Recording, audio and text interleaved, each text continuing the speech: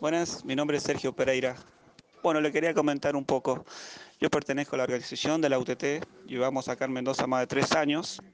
Nosotros somos los que hacemos los feriazos en Plaza Independencia, capaz que algunos los conozcan por ahí a nosotros. Eh, bueno, aparte de vender, nosotros también donamos verduras. El día sábado 21, por segunda vez, hemos donado más de 100 bolsones de verduras que sale de nuestros compañeros, que son todos chacareros. Juntamos un poco de verdura cada uno.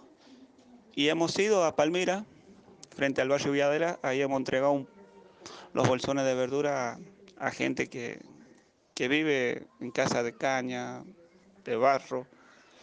Ahí seguro que las imágenes la van a ver, que le he mandado. Y bueno, eso lo hacemos nosotros de corazón, porque sabemos que por ahí no hay plata y las verduras están por las nubes.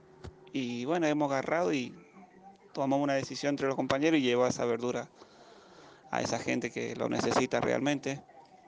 A nosotros es un orgullo muy grande hacer esas cosas, porque los venimos con una imagen de cada persona que le entrega un bolsón de verdura, le decimos, acá le, le venimos a regalar verdura.